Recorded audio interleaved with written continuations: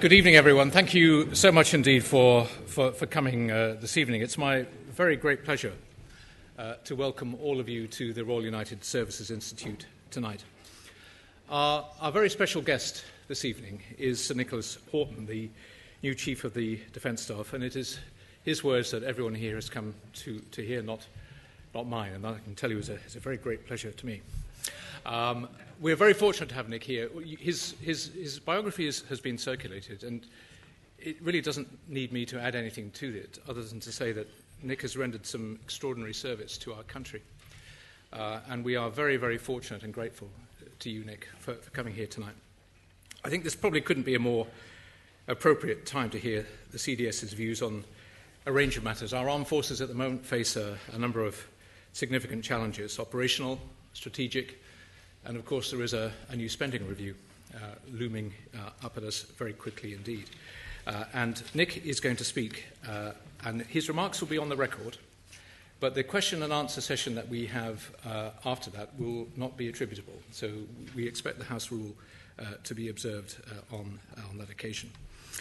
Could I ask you, before um, I ask CDS to, to speak to us, to make sure all of your mobile phones and tablets are switched off? Um, there isn't going to be um, any uh, emergency uh, rehearsal tonight. If the alarm bells go, it, it is for real. Uh, so, so please follow the RUSI staff, who you will see uh, at the back of the room, uh, to exit the building uh, as safely and as quickly as you, as you possibly can. My lords, ladies and gentlemen, it gives me very great pleasure to ask Sir Nicholas Houghton, Chief of the Defence Staff, to speak to the Institute tonight. Thank you very much. Thank you.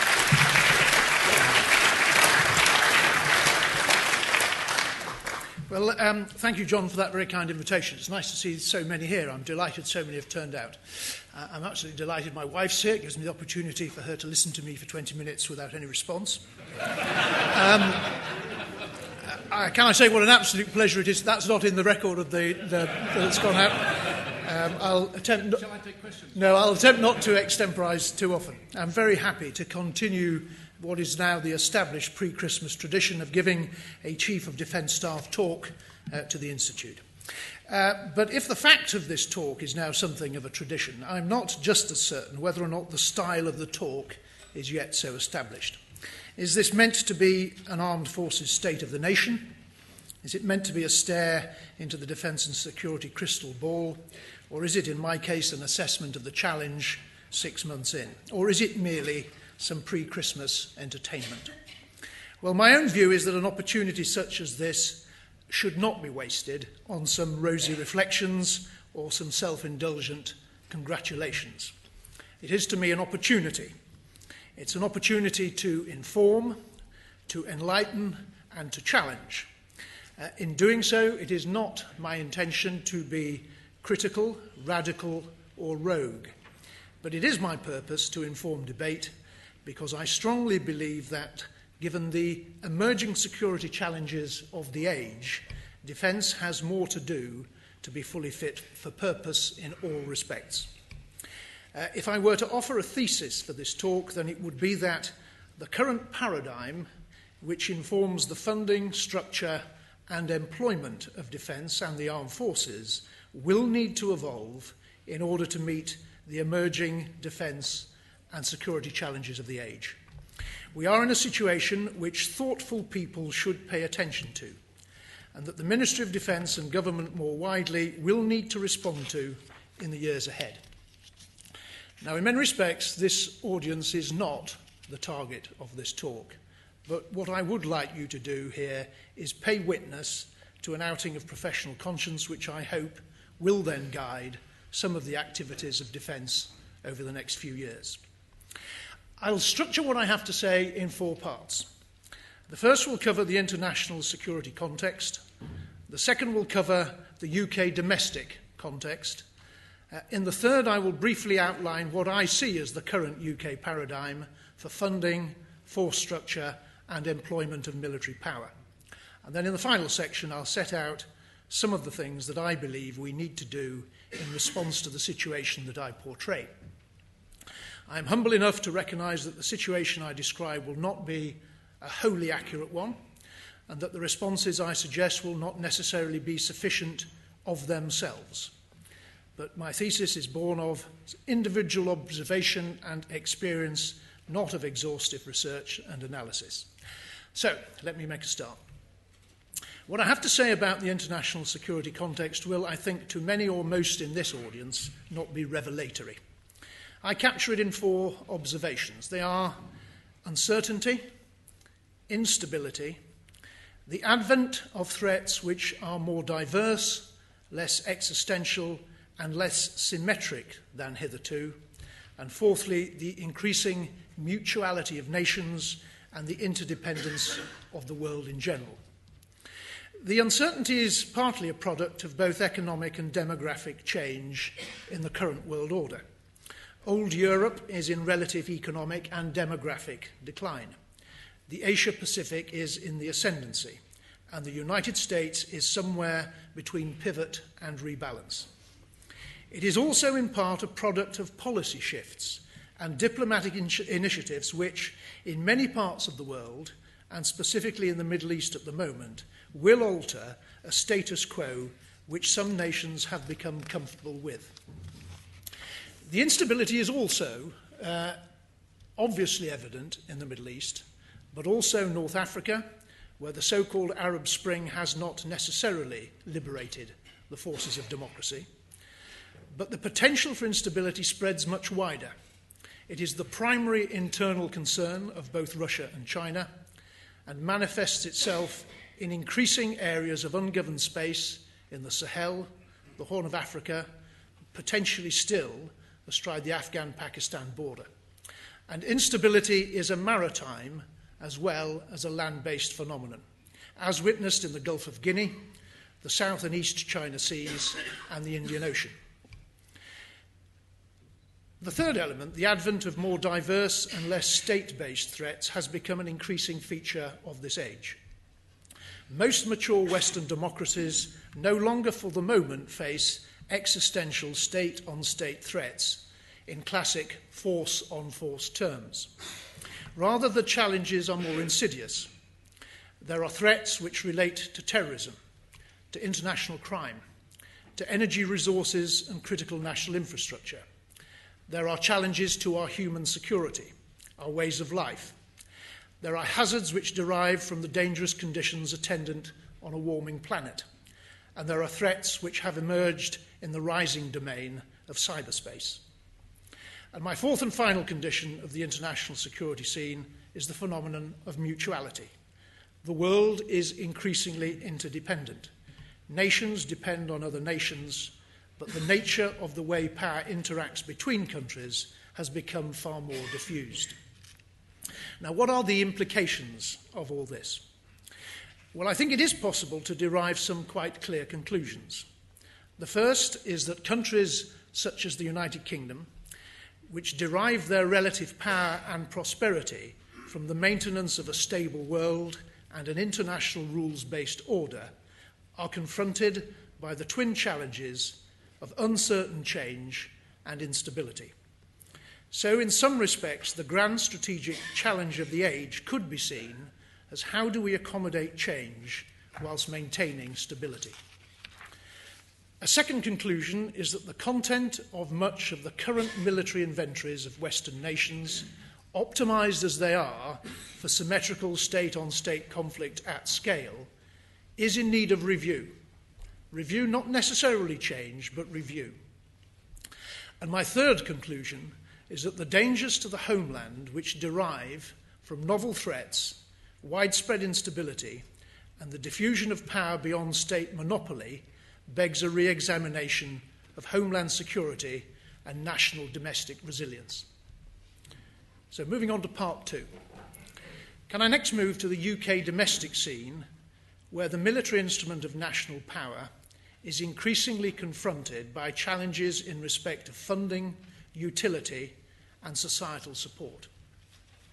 I'm not tonight going to say that defence immediately needs more public funding. In part, this is because I do buy into the narrative that there can be no strong defence without a strong economy. I also believe that defence needs to continue to improve its financial competence, both in reputation and in real terms, if it's going to win the argument for more funding. But what I will say tonight is that the leadership of the armed forces are bought into a wider narrative that speaks to the real terms growth in defence funding that should accompany the nation's recovery from austerity. This is a narrative which the Prime Minister himself has acknowledged. Defence will need real growth in the next Parliament if the reality of the force structure set out in the last SDSR is to be realised.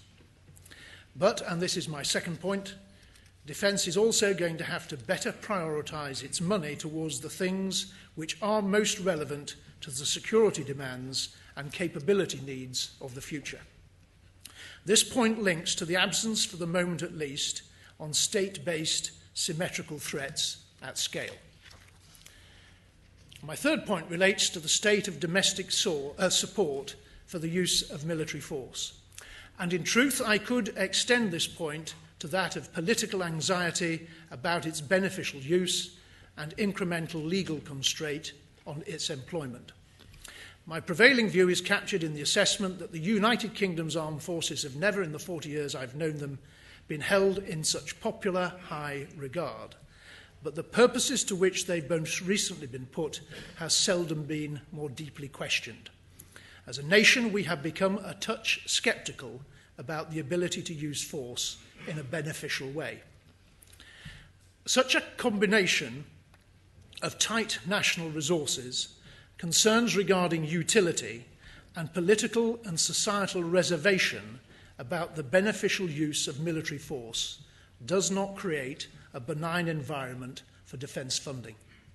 And my stark conclusion is that when you combine the international security context to the UK domestic scene, then one of my great challenges as CDS is to help to revalidate the utility of the military instrument of national power in the minds of government and the wider public. Part three. The third part of what I want to say is just to pause a moment on what I called the current paradigm of defence in respect of funding, force structure, and force employment. We are, in truth, already making considerable progress to change this paradigm, but I will tell it as starkly as I can to make my more general point.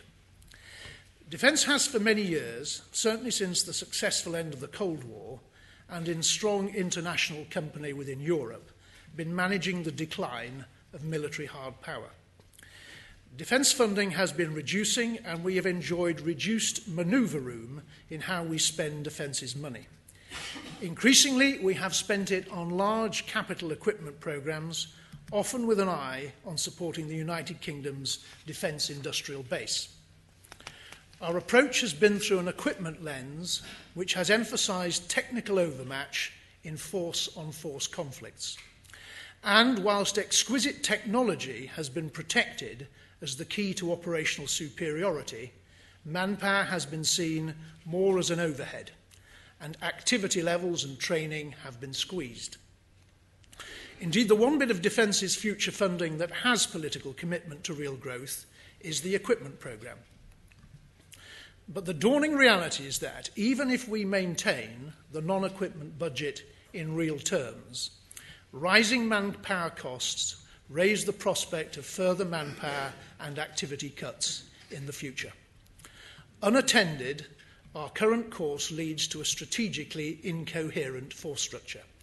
Exquisite equipment, but insufficient resources to man that equipment or train on it. This is what the Americans call the spectre of the hollow force. We're not there yet, but across defence, I would identify the Royal Navy as being perilously close to its critical mass in manpower terms. Elsewhere in the paradigm, we remain too platform focused and insufficiently concerned about what I call enablers. The historic service centric major equipment focus has left us with relatively strong environmental components, but if you like, a body devoid of senses, senses and a central nervous system. I exaggerate, but you get the point. We are critically deficient in the capabilities which enable the joint force such things as intelligence, surveillance, compatible communications, joint logistics, and tactical transport. Next, I would observe, as we enter our final year of combat in Helmand and revert to a contingent posture, the paradigm continues to fund defence's capabilities primarily to hold forces at readiness, not to fund them for proactive activity in this uncertain and unstable world.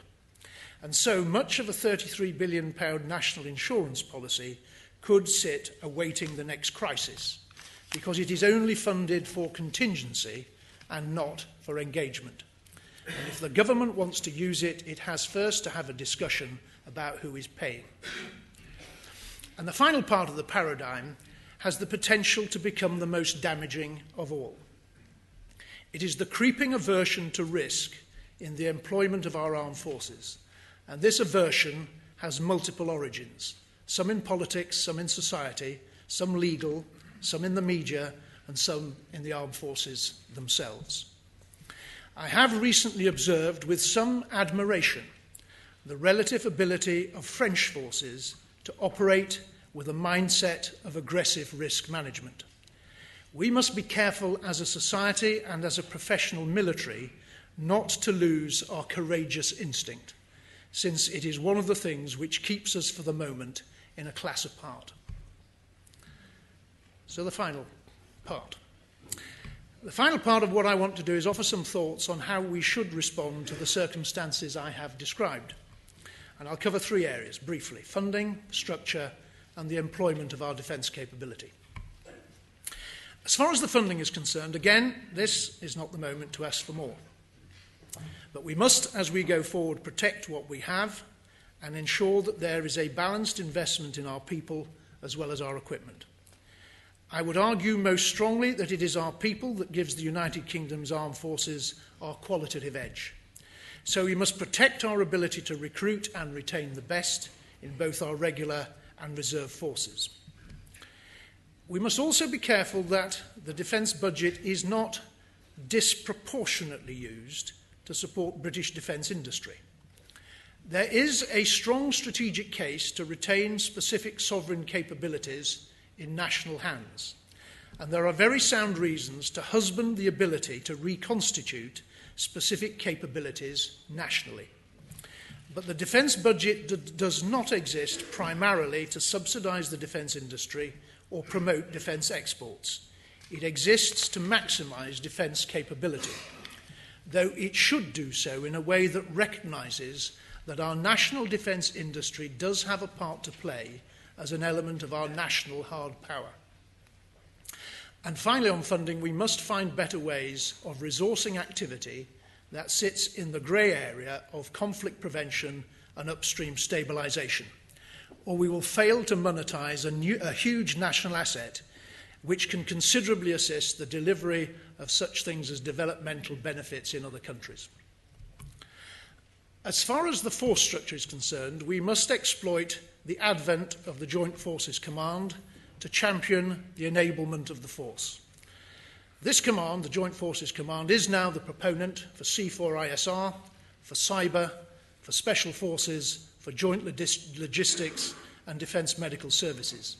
It owns those things which represent the nervous system of capability, and its age has now come.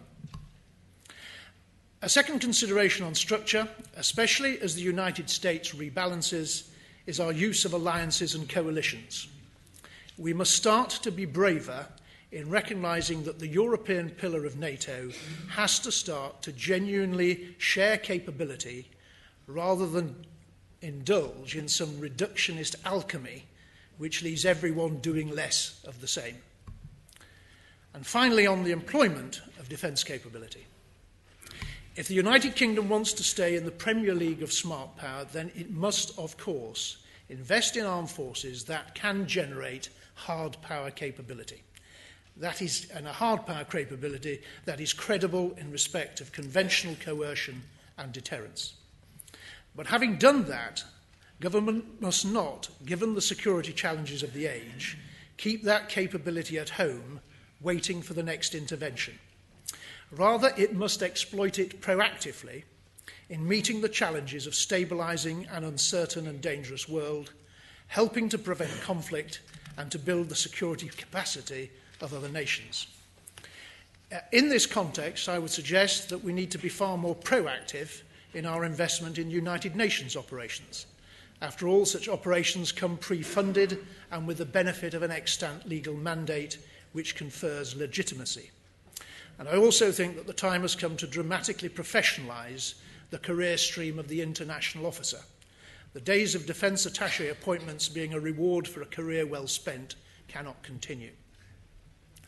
In adopting a strategic posture of engagement, we can better add to the country's influence on the world stage, support national security policy objectives, and be more proactive on the national prosperity agenda. We will also sustain the potential for attractive and fulfilling careers for those who do not want to live ordinary lives. But most importantly of all, we will understand far better the areas of potential conflict. Because, to misquote Antonio Giustozzi, arguably one of the follies of our current age has been an unmatched ambition to change the world without bothering to understand it first. Lastly, we must recognise that the domestic dimension of security threats, rather than merely being terrorist related, could impact on national critical infrastructure such that a national domestic response is needed and at scale. We must re-evaluate from a defence perspective the nature of our pr- approach to homeland security and to domestic resilience. And we should be mindful that the prospect of state-sponsored asymmetry could change many of our calculations about the security of the United Kingdom in the years to come. Well, that's all I intended to say. And uh, as I said at the outset, I may be wrong in some of this, but it makes sense to me. You can be reassured that some of this is already in hand. And if some of what I have said seems unduly alarming, it's because I do not think it's the job of a CDS to pamper to a comfortable state of negligence in matters of our nation's security. I remain convinced that the provision of such security cannot be wished away and will remain one of the defining duties of government. But the armed forces will need to evolve to ensure that they remain appropriate to the demands of the age in which we live. And the country must sustain the appetite to use them appropriately in the national interest. Well, thank you and have a very happy Christmas. And can I, on your behalf, extend that greeting to the many thousands of UK servicemen and women serving in Afghanistan and around the world this Christmas. I'm sure you would want to join me in thanking them and their families and friends at home for all they do on our behalf, especially at this time of year. Thank you very much.